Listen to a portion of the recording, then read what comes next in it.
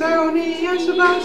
Ras, ras, Sebas in de ochtend met Tony en Sebas. Ras, ras, Sebas in de ochtend met Tony en Sebas. Ras, ras, Sebas in de ochtend.